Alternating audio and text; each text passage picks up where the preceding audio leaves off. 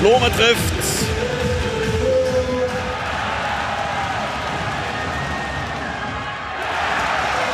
Wahnsinn. Was ist denn jetzt los hier? Tom Kiesler. Sonst immer nur in der Abwehr eingesetzt, aber in dem Fall kann er ja auch mal ins Tor werfen.